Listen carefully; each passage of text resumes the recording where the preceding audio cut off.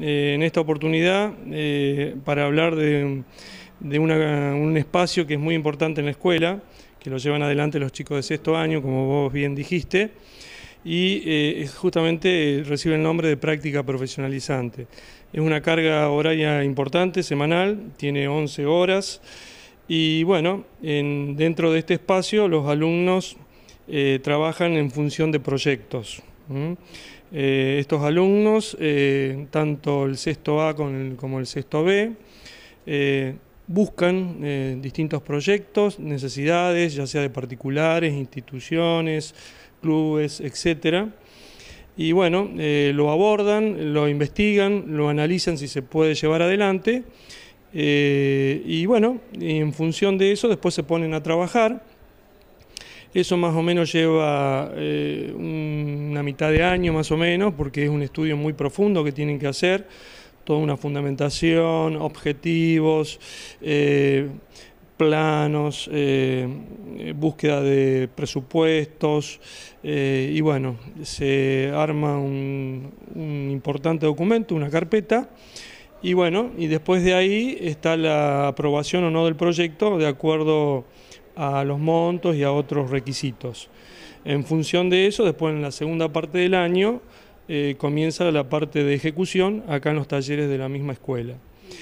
Eh, y dentro de ese espacio, práctica profesionalizante, está la modalidad también pasantía, en donde, como vos también lo dijiste al principio, el alumno tiene una vinculación, un acercamiento hacia las empresas de acá de la zona.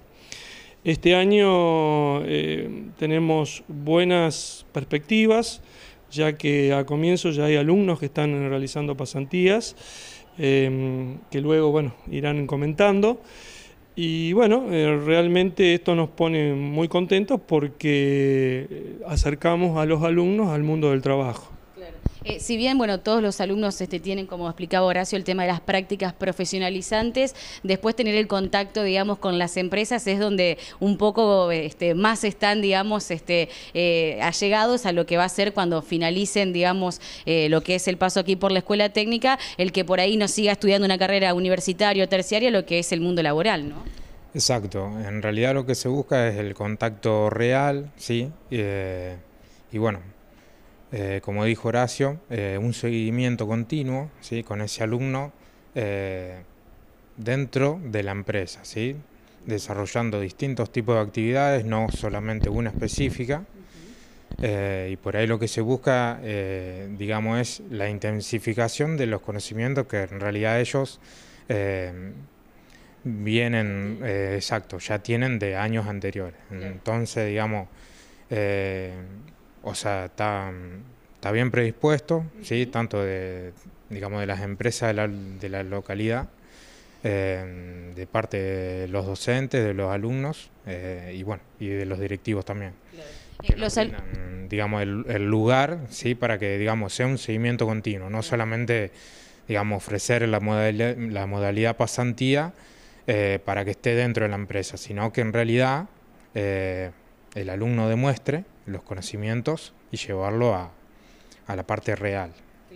Los alumnos que realizan las pasantías, ¿se tienen que anotar voluntariamente? ¿Se trata de que todos los alumnos puedan hacer en algún periodo del año una pasantía en una empresa? ¿O algunos a lo mejor dicen, bueno, yo la verdad es que prefiero no, prefiero quedarme con lo que es la primera etapa y no llegar, digamos, a, lo que es este trabajar, digamos, en una empresa, porque no sé, porque voy a hacer un estudio universitario y tal vez todavía no me interesa realmente eh, insertarme en el mundo laboral? Eh, sí, en realidad, digamos, eh, la, digamos, la obligación de ellos, digamos, es cursar la materia, prácticas profesionalizantes. Dentro de esa materia está la modalidad pasantías, que, o sea, eso no es obligación, eh, digamos, es opcional, ¿sí? Porque, o sea, no hay que olvidarse que, digamos, ellos por ahí ya tienen definido una carrera, ya empiezan por ahí a rendir o cursar los sábados, entonces, bueno, digamos, digamos, se le da mucha importancia a, digamos, a, cada, a cada alumno. Ahora, digamos, una vez que ellos eligen eh, la, modalidad pasantía, eh, digamos, tampoco, digamos, como que se lo compromete a que sí o sí siga trabajando, sino que simplemente es un pasaje de la materia eh, y bueno, y después, digamos, es por orden de mérito, ¿sí? por, por las, calificaciones, las actitudes, y después se evalúa mucho, digamos, eh, digamos dentro del departamento de, búsqueda, ¿sí? la orientación de, cada alumno. ¿sí? Entonces, bueno, esto hace que en realidad el alumno eh, que tenga un interés en, en una sectorización de la empresa, eh, cuando se genera esa vacante eh, sea bien, cubierta, digamos, y tenga un, excelente desempeño el alumno eh, dentro de la, de la empresa. ¿Las pasantías son rentadas para los alumnos que las realizan con las empresas de, bueno, de aquí de San Carlos? no, no tienen obligación. Es más que nada la experiencia y como recién decías, les queda un antecedente en caso de que la empresa después necesite, digamos, cubrir una vacante, ya tiene el antecedente del, alumno. Exacto. Sí, aparte, digamos, digamos, eso queda registrado con una certificación de, digamos, de las horas eh, dentro de la empresa, que bueno, les es entregada una vez que ellos egresan y les sirven obviamente para su currículum el día de, el día que busquen eh, una salida laboral. En estos momentos están realizando la pasantía cuatro alumnos. Eh, acá a mi izquierda tengo a varios de ellos y ya hay pedidos de otros alumnos para acceder, acceder a ese sistema. Eh, después generalmente se renuevan, o sea, quiero aclarar que la pasantía tiene un mínimo de 100 horas. más o menos en este periodo van hasta fines de junio, principios de julio y después en la segunda etapa del año ahí renovamos, si las empresas lo desean, y acceden otros alumnos. La intención de la escuela es más o menos darle posibilidad a que la mayoría de los alumnos que están en sexto año puedan acceder a pasantía. No es anual. Y quiero aclarar que esto no genera ningún vínculo de trabajo. Como bien lo dijo Leandro, simplemente es transferir un poco los conocimientos de acá y volcarlos a la empresa, más los conocimientos que adquieran ahí pero repito, no genera ningún vínculo de trabajo. Es fundamental el apoyo de empresas sancarlinas, ¿no? que se puedan sumar a esta iniciativa para que bueno, los chicos tengan este, digamos, una experiencia, que después cuando este, realmente lleguen al mundo laboral ya hayan tenido un contacto, aunque sea de algunas, eh, de horas, de unos meses, que eso es importante. Sí, sí, eh, indudable. Eh, o sea, como bien lo dijo Leandro, es una certificación que va a acompañar el título y también para el empresario considero yo que es una buena posibilidad para ver las actitudes, el manejo que tienen en determinadas áreas.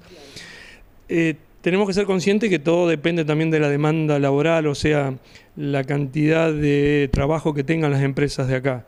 Eh, esto es muy fluctuante, por ahí hay años que nos dan poco trabajo conseguir eh, ubicaciones de los pasantes. Este año, bueno, gracias a Dios se ha revertido y bueno, ya desde un inicio ya tenemos alumnos en pasantía. Así que considero que es un buen aliciente para un alumno que está por egresar de la escuela. Bueno, vamos a dialogar con algunos de los alumnos. En principio, nombre, ¿cuál es eh, la empresa en la que estás realizando las pasantías? Franco Verón, eh, estoy haciendo pasantía en Ingeniería San Carlos, eh, una empresa que se encarga de, digamos, de la parte de tableros eléctricos y automatización en la parte de seguridad industrial. Eh, y bueno, yo me anoté más que nada eh, para el rubro lo que es electricidad y bueno, justo surgió la posibilidad y, bueno, aproveché que se dio la, chance. Bien. Eh, en estos días que llevas, digamos, realizando esta tarea, este, ¿te encontrás cómodo? ¿Te gustaría, digamos, insertarte en el mundo laboral ni bien termines la escuela? ¿O decís, bueno, no, esto me sirvió como experiencia, voy a estudiar una carrera universitaria y después voy a ver qué hago? Eh, no, o sea, arranqué ahora una semana, ¿no? Y no, bien, bien. Eh, me gusta el ambiente de trabajo, me parece que es muy, muy cómodo y estoy haciendo lo que me gusta. Y mi idea es, digamos, adquirir práctica, eh, experiencia laboral y a la vez ya ver cómo se maneja en esos ambientes.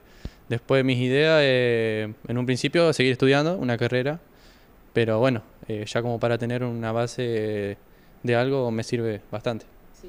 Bueno, nombre y en qué empresa estás este, realizando las prácticas. Soy Agustín Betig, estoy trabajando en Ingeniería San Carlos también y es una muy linda empresa, es bastante flexible. Eh, yo también me anoté por la parte eléctrica y automatismo y la verdad estoy muy cómodo. Eh, ¿Las horas, digamos, que cumplen en esta empresa son eh, extra, digamos, a lo que es la escuela o tienen ciertos permisos, digamos, en algún horario para faltar alguna materia aquí en la escuela e ir a hacer las prácticas? Eh, sí, faltamos, hay dos días que faltamos a taller, pero eximimos igual sería y después ciertos trabajos y cosas que se fueron dando durante las prácticas, nosotros tenemos que completarlas. Perfecto, gracias. ¿Tu nombre y la empresa en donde estás haciendo la práctica? Mario Udiño, a mí me tocó hacer pasantía en la empresa Primo, que es una empresa encargada de hacer el diseño, la construcción y el montaje de cualquier tipo de envasado, máquinas de envasado, y estoy en la parte de diseño. Bien, ¿y por qué te anotaste en lo que es la parte de pasantía? Y porque me pareció una oportunidad muy importante para ir agarrándole la mano a lo que es el mundo real sería y salir, salir a trabajar y todo eso. Era como te imaginabas, digamos, este, la cuestión laboral, o decís, bueno, me parece que me conviene más estudiar y después insertarme más adelante en el mundo del trabajo. Sí, es como me lo esperaba. Mi idea es seguir estudiando, pero esto ya te sirve para tener una base en lo que es el trabajo.